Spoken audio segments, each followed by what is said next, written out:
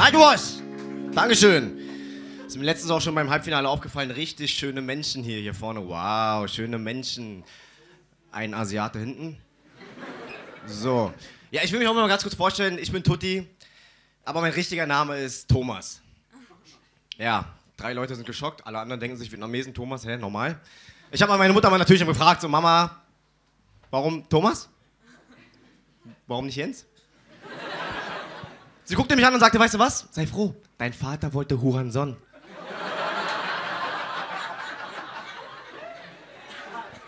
Wo ich mir aber denke, so Huranson könnte mein Vater wenigstens aussprechen. Ja, zu mir sagt er immer so, Tomat. Ich sag, Vater, Thomas. Ja, ich sag doch Tomat. Oh, guck mal, selbst meine Eltern haben jeweils zwei deutsche Namen. Meine Eltern sind damals Anfang, Mitte, Ende der 70er, ja, als sogenannte Boat People von Vietnam nach Deutschland geflüchtet. Also wie der Name schon sagte, die sind mit dem Flugzeug angereist. Und da waren die hier gewesen und richtig stolz drauf. Ich kann mir richtig, voll, richtig krass vorstellen, wie mein Vater mit so einer deutschen Flagge dann so aus dem Flugzeug steigt, so. Ah, das nix leck hier. Ein Nickei und Recht und Freiheit für das deutsche Vaterland. Und haben irgendwann ihre deutschen Pässe bekommen, haben sich einbürgern lassen. Philipp und Bettina. Philipp, Bettina, Thomas. Man nimmt uns als Vietnamesen nicht mehr ernst. Mein Vater schreibt seinen Namen heute immer noch falsch. Letztens unterschrieb er mit Philips. Wir waren mal bei Saturn gewesen und er meinte, ah, da, da, da, da, da, da, da, da, das mein Fernseher, Philips. Ich sag, Vater, nein. Mein Vater ist der wahre Grund, warum ich auf der Bühne stehe. Er gibt jeden Tag so viel Scheiße von sich. Ich muss irgendwie kompensieren, ja.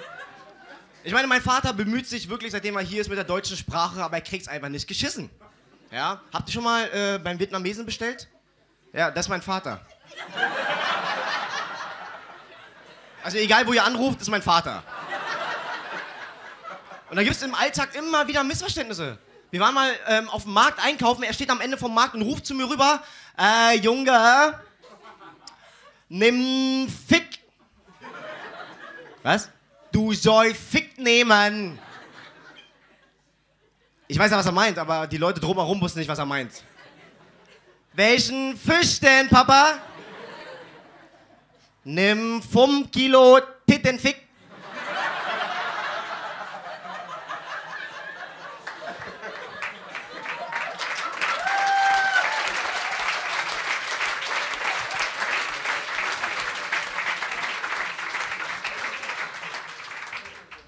Ja, den Tintenfisch habe ich dann noch bekommen.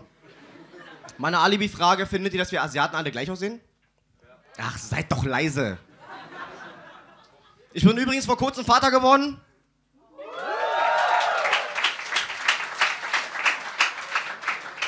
Hör doch zu klatschen, sie ist nicht hier.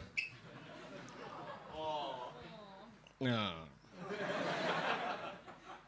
Ich war mal ähm, mit meinem Vater auch nach dem Markt, ja, wir waren bei Aldi einkaufen gewesen, okay? Und da waren so drei Jugendliche gewesen, so richtig laut am Randalieren, so Knackenkinder, so richtiger Abschaum, so, weißt du so? Ja, ich weiß, sorry.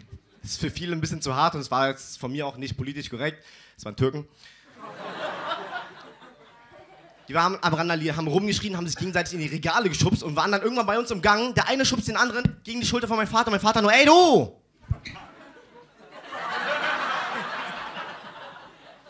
Mach deine Augen au, ja?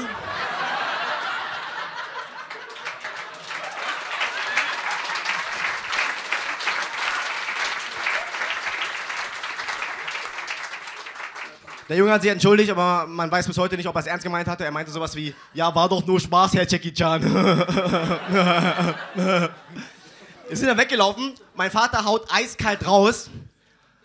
Die Juden von heute.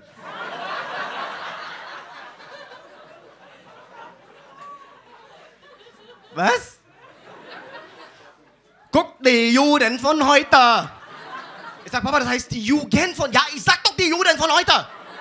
Ich sag, Papa, wir sind hier in Deutschland wegen dem Zweiten Weltkrieg. Halt deine Schnauze. Wenn ich sag, das Juden, dann dat Juden. Du war auch klein, dann auch Jude. Ich auch, Baby, dann Jude. Deine Mutter auch Jude. Deine Svette zu Hause immer noch Jude. Aber ich war nicht so wie die, ja? Arschloch Jude. Ich war letzte Woche mit meiner Tochter beim Kinderarzt gewesen.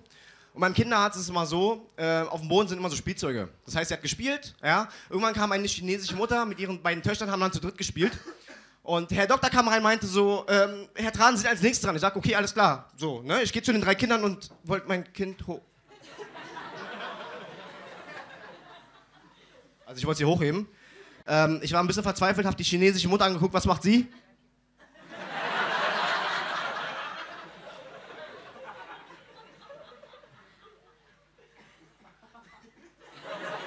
Leute, das war's von mir. Vielen Dank, Nightwatch. Vielen Dank, Dankeschön. Tutti Tra!